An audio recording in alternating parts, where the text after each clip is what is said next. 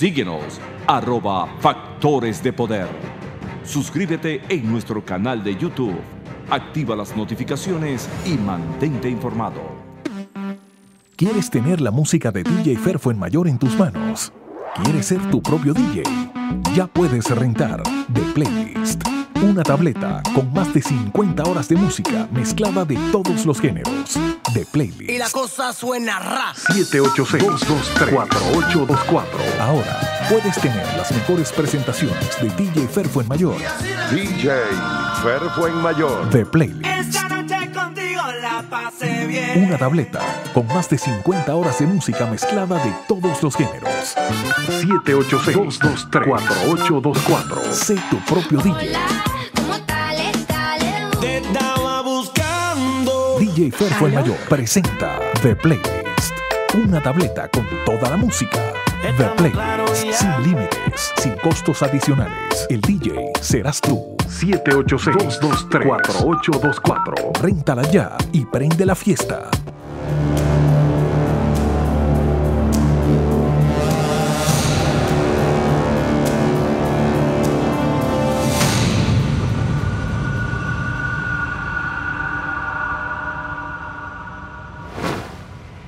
Regresamos con Agárrate. Bueno, quiero recomendarte una vez más que no te pierdas la oportunidad que está dando San Ignacio University. Puedes hacer un máster en administración de empresas en cualquier parte del mundo donde te encuentres, porque es un máster online que te va a dar una certificación de una universidad en los Estados Unidos, que es San Ignacio University. En cualquier parte del mundo que te encuentres, te puedes inscribir y hacer tu máster online. Vas a tener tu diplomado, tu diploma de eh, un máster en administración de empresas. Las clases comienzan el 15 de septiembre, así que apúrate a inscribirte. También ellos tienen el eh, curso de inglés desde las 9 de la mañana hasta las 12 del mediodía y también desde las 7 de la noche hasta las 10 de la noche. Comunícate con San Ignacio University al 786-614-5360. Bueno, y en nuestro segmento acostumbrado de todos los viernes, Gerencia para Todos, nuestro compañero Rafael Nieves Leáñez entrevistó a Juanma Romero.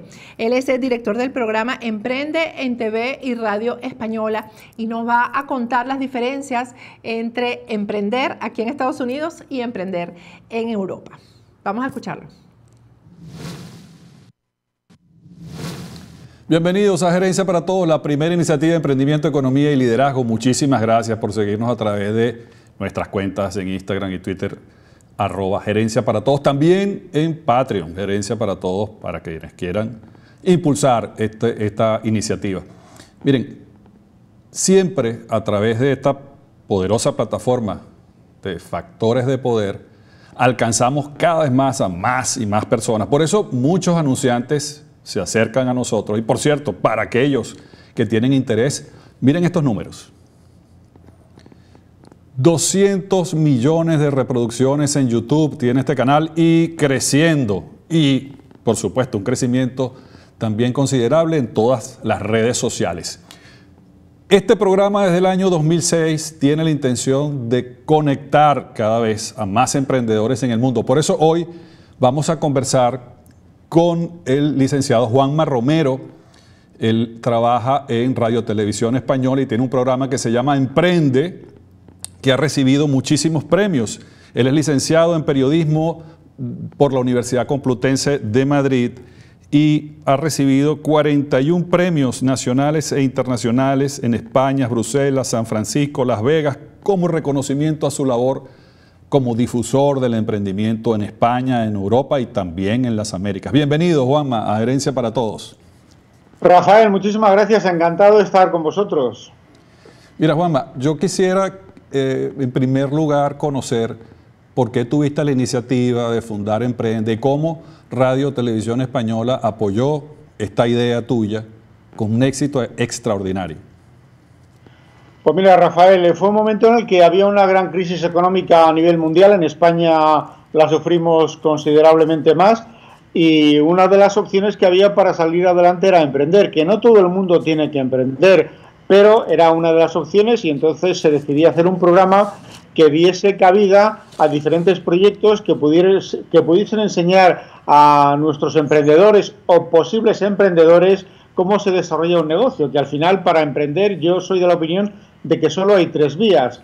O tienes una idea y la pones en marcha, o ves una idea que te gusta, la copias y la mejoras, o montas una franquicia. Y entonces, pues se trataba un poco de dar una visión, una panorámica de lo que es el emprendimiento y de lo que se podía hacer. Luego, claro, por supuesto, emprender con sentido común.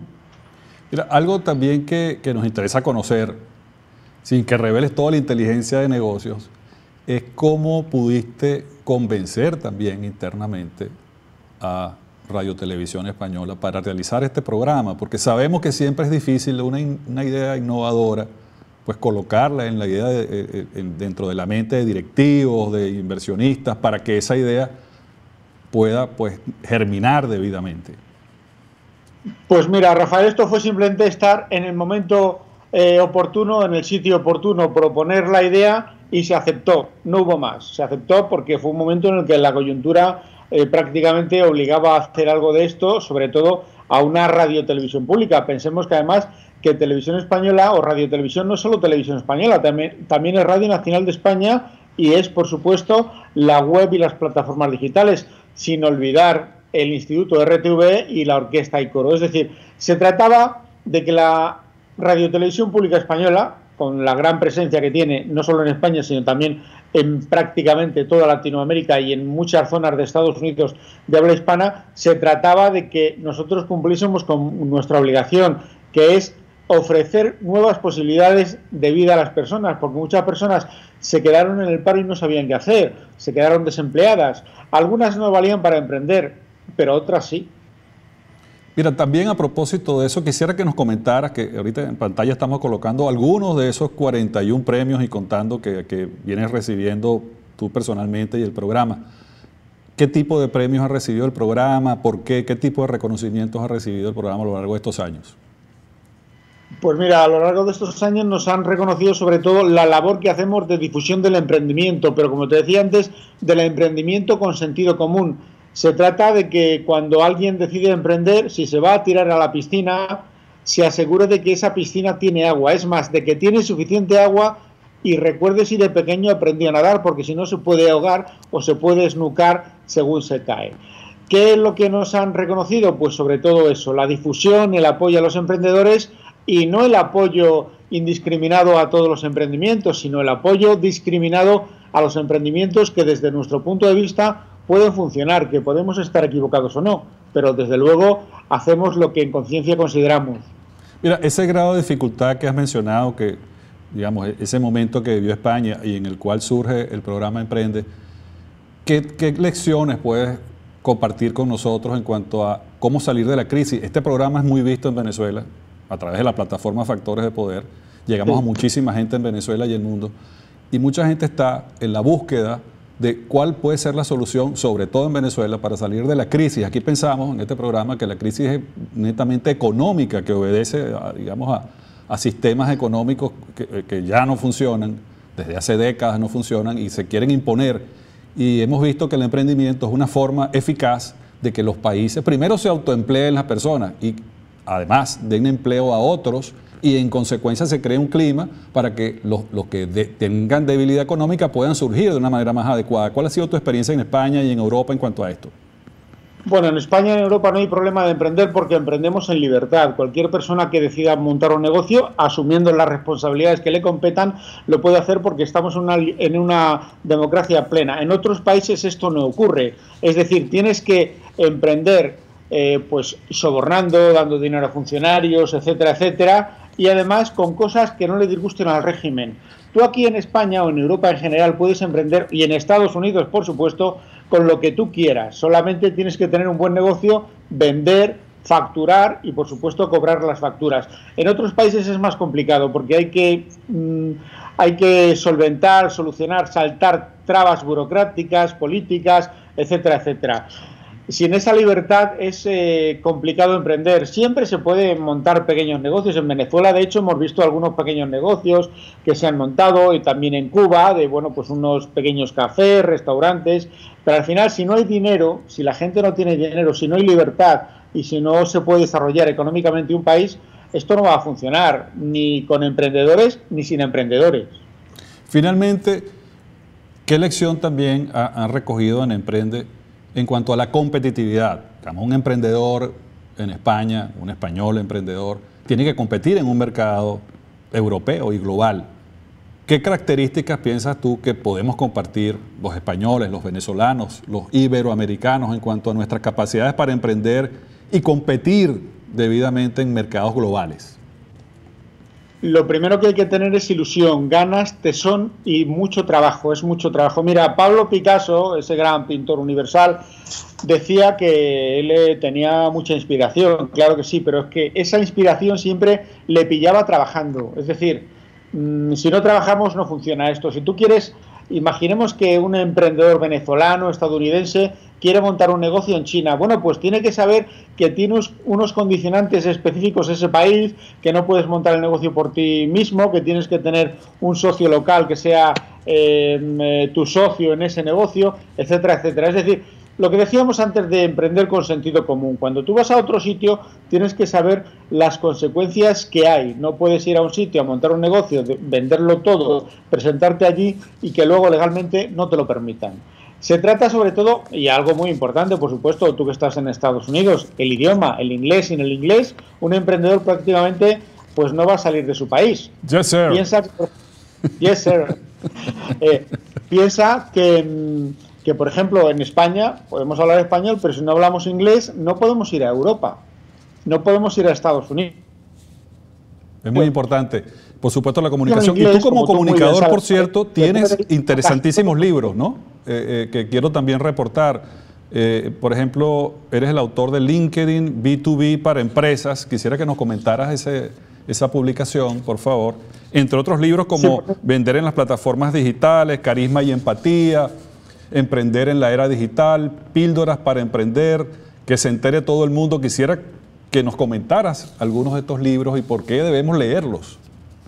Mira, Píldoras para Emprender y Emprender en la Era Digital son dos libros que se han publicado con Televisión Española, que ese ha sido socia en, en este, en, este, en esta actividad. Y entonces ahí lo que mostramos un poco es el camino desde que se empieza hasta que se acaba, desde que tienen la idea hasta que tienen la empresa internacionalizada. En que se entere con todo el mundo lo que enseñamos es a lograr visibilidad en los medios. ¿Qué es lo que quieren los periodistas? ¿Cómo conseguir que tú le intereses a un periodista? Lo de LinkedIn B2B eh, lo hemos escrito mis hijas Esther, eh, Miriam y yo porque creemos que el LinkedIn tiene una finalidad específicamente muy buena para todo lo que sea la empresa y por eso hay que utilizarlo. Eh, vender en plataformas digitales, pues igual, lo hemos publicado entre mis hijas y yo, y entonces esto viene de una experiencia, eh, montamos una empresa, una tienda en Amazon, fue una ruina, salió muy mal, perdimos mucho dinero, pero eso nos permitió ver qué fallos habíamos cometido y a raíz de ahí escribimos el libro contando lo que hay que hacer y lo que nosotros hicimos mal, porque si no, no tiene gracia. Si tú vas de listo de demostrando lo bien que hacen las cosas, no, hemos metido la pata, nos hemos equivocado y lo hemos contado. Y además, a partir de ahí, mis hijas y yo damos conferencias sobre eh, cómo vender en las plataformas digitales, es decir, que de un eh, fracaso hemos sacado un éxito. Eso sí, yo siempre recomiendo a los emprendedores que no se empeñen en más de lo que se puedan permitir perder.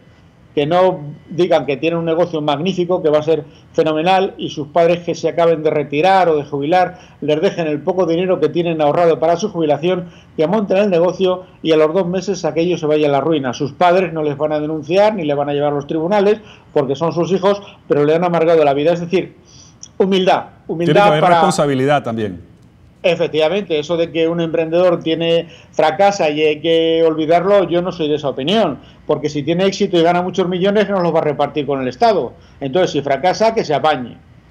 Bueno, queremos, de queremos eh, inclusive compartir esas experiencias que, que ustedes tienen en el programa Emprende. Este programa Gerencia para Todos está a la orden de, de ustedes, de Juanma, de tus hijas. Veo que tienes un emprendimiento familiar y que me parece espectacular que hayan integrado eso familiarmente. Me parece una idea fabulosa.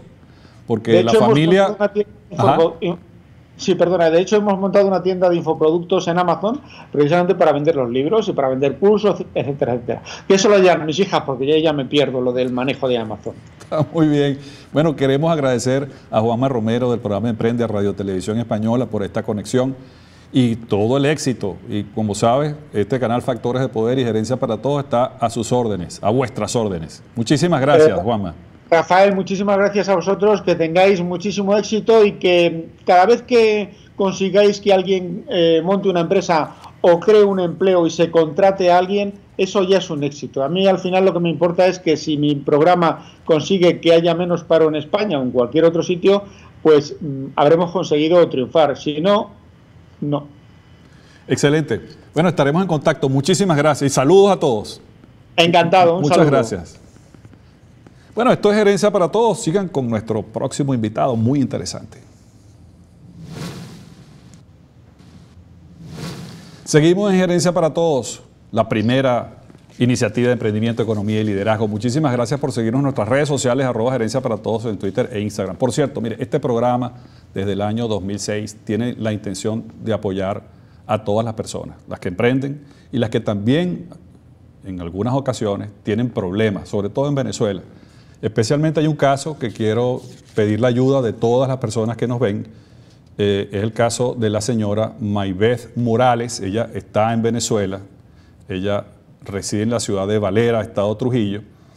Y tiene, tiene una afección referida a cinco aneurismas cerebrales y está en la unidad de cuidados intensivos de Valera, Trujillo, Venezuela y requiere una intervención de cateterismo cráneoencefálico. Requiere ser trasladada a Maracaibo o quizás a Caracas para que puedan atenderla. Y requiere, por supuesto, la ayuda solidaria de todos nosotros. En la descripción de este video aparecen las cuentas y las maneras en que pueden ayudar económicamente a esta persona que es madre, hermana y requiere la ayuda solidaria de todos nosotros desde Venezuela y desde el mundo. Muchísimas gracias. Vamos a continuar este programa, una conversación con el doctor Rosendo Roche. Él es un especialista en gerencia que durante todos estos años nos ha acompañado en el programa y que tiene interesantes iniciativas que queremos también difundir. Bienvenido, eh, doctor Roche, aquí a Gerencia para Todos. ¿Cómo estás? Much- Muchísimas gracias, Rafael. Y saludos a ti y a toda la audiencia. Eh, todo bien por aquí, peleando, luchando, como todos. Sí, bueno, eh, Rosendo, tú tienes una serie de iniciativas a lo largo de toda América con un conjunto de empresas, voy a nombrar algunas de ellas como, como GTD, como Andrew Sobel, como Quantum, Focus, Type Factor, entre otras. Yo quisiera que nos comentaras, bueno, ahí están las empresas a las cuales representa eh, la empresa Intellectum, que dirige también eh, Rosendo Roche. Quisiera que nos hablaras de estas empresas y cómo ayudan a los emprendedores, empresarios y todas las personas que quieren, digamos, conocer más de la ciencia, de la gerencia. Eh, eh, todas estas, metodologías las hemos ido buscando, identificando eh, con un elemento común. Primero que sean, que sean reconocidas internacionalmente y después que sean de rápida implementación que nos traigan resultados. Eh, en, en Venezuela en, en particular y en muchos países no tenemos mucho tiempo para hacer las cosas y recuperarnos. Entonces lo que buscamos es eso, darle a las empresas la posibilidad de dar un paso hacia adelante en la productividad, en ser más productivos, en ser innovadores, en ser competitivos, porque la- yo creo que la palabra importante es ser competitivo. Por ejemplo, estamos viendo podemos- ahorita, eh, eh, eh, Rosendo, por cierto, un evento que Sí. tiene que ver con GTD. Quisiera que nos hablaras de esa tecnología, en qué consiste. Yo la utilizo para precisamente ser más productivo, pero queremos que lo expliques tú, por favor. GTD es una metodología eh, que tiene ya alrededor de unos 15 años en el mercado y es una metodología que te permite establecer las bases, manejar el flujo de trabajo de tal manera de que tú confíes en, eh, un cerebro auxiliar donde vas a depositar todas las cosas que no deben estar en tu mente y dejando espacio en tu mente entonces justamente para ah, planificación estratégica, para diseñar, para resolver problemas, en vez de estar eh, llenando nuestra mente de una gran cantidad de cosas. Nuestra mente no puede mantener sino siete cosas eh, al mismo tiempo eh, eh, allí. Y cuando llega la número ocho, la primera se pierde. Entonces, de hecho, nosotros lo que estamos buscando con eso es desarrollar las capacidades de innovación, desarrollar las capacidades de pensamiento crítico, de análisis estratégico. Y todo esto comienza con una, una metodología muy simple, unos hábitos muy simples de dar, que nos van a permitir realmente ser más productivos productivos en toda nuestra vida, personal y laboral. Mira, quisiera, a propósito de eso, tú, tú manejas varias empresas. Quisiera que personalmente me hablaras cómo realizas todas estas actividades con esta tecnología, vamos a decir, esta tecnología mental, cerebral. ¿Cómo te organizas tú mismo para estar pendiente de todas estas actividades? Mira, es muy sencillo. Ah, realmente tú te eh, esmeras en, en, seguir cinco pasos y esos cinco pasos son capturar todo lo que llega a tu vida, más temprano que tarde, decidir qué es lo que tienes que hacer con cada uno de esos asuntos, luego ubicar cada uno de esos asuntos en los sitios donde tú te los quieres encontrar cuando tú decidas encontrártelo. Luego, revisar que tú tengas un inventario completo de tus asuntos y una vez que ese inventario está allí y completo, entonces las prioridades hacen acto de presencia y en base a esas prioridades tú eres capaz de tomar las mejores decisiones de qué hacer o no hacer en cada uno de los momentos. Mira, Eso por cierto, es un, li- un liberador de estrés eh, indirectamente. Por cierto, tú también has manejado relaciones con diversas universidades de primer orden en el mundo y también has tenido la oportunidad de escoger qué metodología gerencial es la más adecuada. Y quisiera que nos hablaras brevemente de cómo has escogido estas tecnologías para difundirlas, para dar clases acerca de esto y Sí. ayudar a las empresas. Quiero una muy breve descripción de cada una de ellas, de estas empresas que manejas para ello. Sí, GTD está relacionada, como ya comentamos, pues es sobre la parte de productividad y hacia a otros niveles, porque GTD tiene varios niveles, trabaja sobre planificación estratégica y liderazgo. Streamline es una eh, metodología norteamericana que se enfoca en desarrollar un uh, concepto de comunicación focal. Todo proceso comunicacional tiene que seguir por una serie de pasos independiente de cómo sea. Uno de esos pasos, por ejemplo, es la detección de cuál es verdaderamente el... um, objetivo que quieres mandar y la audiencia que tú tienes. Muchas veces eso lo pasamos por encima. USCLAR es una metodología que hemos utilizado en las universidades, ahora que tú lo mencionas, donde enseñamos a los alumnos a, desarrollar sus habilidades de absorción de información. El primer año de, eh, de universidad es muy difícil para todo el mundo y es porque recibimos una gran cantidad de información y no estamos preparados para manejarla. Igual que nos pasa a nosotros. Hoy nos quejamos de que tenemos muchos emails, dentro de seis meses vamos a tener el doble de esos emails y no lo podemos evitar. Lo que podemos cambiar es la forma como interactuamos con ese tsunami informativo que nos está llegando. Infocus es una metodología que resume las mejores prácticas en lo que se refiere a productividad y competitividad. Type Factor es una metodología para aprender a entender mi tipología de preferencias y la tipología de preferencias de otras personas que interactúan conmigo. Si yo tengo ese conocimiento, mi proceso comunicacional es mejor porque yo sé de qué forma um, acercarme a cada una de las personas. Top Service es calidad de servicio una metodología que nos permite de alguna manera identificar dónde están esos pequeños detalles que a lo largo de toda la, de la organiza, a lo largo de toda la organización me van a permitir uh, dar un mejor servicio. La competencia de precios está muriendo ya no podemos seguir competiendo en precio, ahora tenemos que competir en calidad y hay muchos ejemplos que podemos dar. Excelente. Andrew Sobel es, está referido, está relacionado con crear lealtad en tu clientela y negociación quantum es justamente el proceso de negociación que hacemos todos y cada uno de los días que vivimos en cualquier ambiente. Siempre estamos negociando, pero hay que racionalizar ese proceso. Bueno, muy bien. Eh, eh, nos encanta que puedas tener toda esta tecnología para que podamos ser mejores gerentes y estaremos en con constante contacto contigo. Eh, muchísimas gracias por participar en Gerencia para Todos y saludos a todas las personas del equipo. Son grandes amigos. Gracias. Gracias a ti, Rafael, por, por invitarnos y, y, a todos los oyentes de Gerencia para Todos. Excelente. Un gran saludo. Entonces, continuamos en Gerencia para Todos. Sigan con nosotros. Vamos a conversar con un emprendedor muy interesante. Seguimos en Gerencia para Todos, la primera iniciativa de emprendimiento, economía y liderazgo. Miren, como saben, nosotros queremos presentar emprendedores creativos, innovadores y en muchísimas áreas, sobre todo si son venezolanos. Hoy nos acompaña Alberto Lobo. Bienvenido, Alberto, a Gerencia para Todos. Muchas gracias, Rafael. Gracias por la oportunidad que, que nos brindas, que le brindas a la marca y que me brindas a mí particularmente en presentar lo que es Alop Golf. Excelente, sí, porque has decidido, Alberto, eh, incursionar en un mercado que es muy competido aquí en los Estados Unidos, que es el mundo del golf.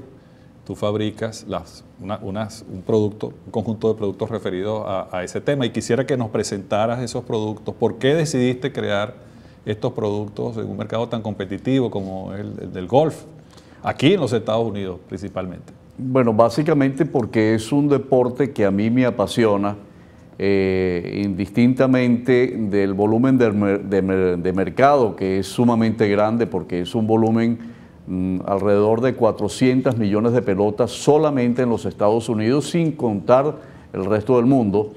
Y siendo un, mercado pues tan voluminoso, eh, se me ocurrió, por el amor que le tengo a, este deporte, crear nuestra propia marca, tomando en cuenta que no hay ningún latinoamericano que lo haya hecho anteriormente. Eh, digamos que es la primera marca eh, latinoamericana y sobre todo venezolana de una pelota de golf. ¿Qué características tiene este producto? ¿Por qué piensas que es competitivo? ¿Por qué un jugador de golf debe pensar en comprar tu producto versus otros productos del mercado? En realidad el mercado se basa en, en, grandes volúmenes. El mercado para, para, jugadores que están por encima de 15 de handicap, 18 de handicap, 20 de handicap, es el mercado que nosotros estamos persiguiendo, que es la gran mayoría. Porque los jugadores que son eh, jugadores handicap cero jugadores profesionales, pues ellos están avalados con ese músculo económico que tienen estas grandes marcas y lógicamente no, no, no, están en capacidad, no es que no quieran de, de, probar otra marca, sino no están en capacidad de hacerlo. Nuestro mercado es básicamente a ese jugador que pierde una ca gran cantidad de pelotas cada vez que juega y lógicamente eso incide en, en su costo, en su claro. bolsillo, porque una pelota de las grandes marcas puede costar 50 dólares, mientras que a Love Golf en las mismas características puede costar 30. Estamos hablando de un 35% menos. Interesante. Mira, también quisiera conocer cómo investigaste el mercado, cómo conseguiste las características más adecuadas para que un jugador de golf prefiera este producto versus algún otro, si, si está dentro del estándar de lo que es un producto como este o tiene además algunas características técnicas que lo puedan diferenciar. Bueno, en realidad nosotros estuvimos haciendo pruebas durante cerca de un año. Nos enviaban pruebas de diferentes fabricantes porque hay alrededor de 18 fábricas a nivel mundial que te hacen todas las, la, las marcas de pelotas. Es, una simple, es simplemente branding. Eh, te hacen las marcas de pelotas, nosotros pedimos muestras y empezamos a elegir las combinaciones que nosotros queríamos en cuanto a compresión de la pelota, en cuanto a inner core y la parte externa, que es la parte que, que tiene esos pequeños hoyuelos que se le llaman dimples. Nosotros en base a eso y en base a jugadores eh, profesionales amigos, empezamos a hacer las distintas pruebas de las pelotas y, y logramos obtener una pelota que tuviera un comportamiento ideal para cualquier tipo de jugador, dependiendo de la velocidad del swing y por supuesto, por supuesto dependiendo de su destreza. Dentro de ese tiempo logramos hacer... Mira, por cierto, era... hay una foto, disculpa la interrupción, ahí estás con, con Galarraga. ¿Qué tal es Galarraga jugando golf? Mira, ya sabemos es, cómo juega béisbol, pero en golf, ¿qué tal es? Muy buen jugador porque es un, eh, es un asiduo jugador, siempre está constantemente jugando eh, eh, Andrés es handicap prácticamente 4 o 5, o sea, es un hombre que juega por lo menos de 4 a 5 veces por semana. Y bueno, ya todos sabemos cómo Galarraga la pegaba al béisbol, imagínense cómo les pega el golf también, ¿no? Espero aprender a jugar golf con ustedes. Mira, por cierto, ¿qué actividades realizas desde el punto de vista de, digamos, social, de promoción del producto, de apoyo también. Entiendo que apoyas con, con, muchas actividades a la Cámara Venezolano-Americana aquí en los Estados Unidos. Háblanos de eso, por favor. Bueno, nosotros en realidad hacemos, eh, ayudamos a ciertas or organizaciones a hacer eh, estos, estos torneos de golf. Implementamos Hole in One, que son Hole in One Challenge, son eh, estas participaciones de los jugadores para que en un hoyo en uno se ganen una cantidad de dinero de acuerdo al premio contratado. Y básicamente eh, nosotros junto con la Cámara Venezolana Americana hemos ya hecho varios torneos, he tenido la oportunidad o ellos me han dado la oportunidad de poder estar todos los años en los torneos participando activamente tanto en la parte organizativa como en la parte directamente del juego, cosa que hacemos todos los años y este año eh, lo hicimos en abril y ahora volveremos a hacerlo la segunda, la cuarta edición fuera de Weston Hill, ya la volveremos a hacer en abril del año 2020.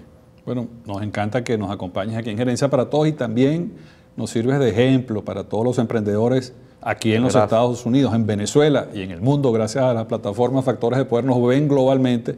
También son puntos de inspiración para los emprendedores o las personas que quieren ser emprendedores, ver que sí efectivamente se puede, aun cuando se determine que la cosa es difícil, porque es difícil emprender, es difícil que los inversionistas, por ejemplo, crean en un proyecto y tú has logrado eso, lo cual es muy significativo. Muchísimas gracias por estar con nosotros aquí en Gerencia para Todos. Muchas, muchas gracias a ti. Muy amable, Rafael. Siempre a tu orden. Y ustedes amigos, como siempre decimos, obra como la naturaleza. Haz lo necesario y hazlo bien. Gracias, Rafael. Bueno, vamos a ir un corte y al regreso seguimos con Agárrate, pero primero te quiero recordar que aquí en Estados Unidos tenemos que estar asegurados. Tenemos que tener el seguro de hospitalización, cirugía, maternidad. Tenemos que asegurar nuestra casa, nuestro local comercial. Por eso yo te recomiendo que te asesores con Opportunity Insurance. Ellos te van a ayudar a tener un seguro que puedas pagar, pero que te dé total cobertura. Consulta con ellos ese seguro que es tan importante que te va a cubrir en caso de que por alguna eventualidad no puedas seguir trabajando. Vamos a un corte y al regreso seguimos con Agárrate.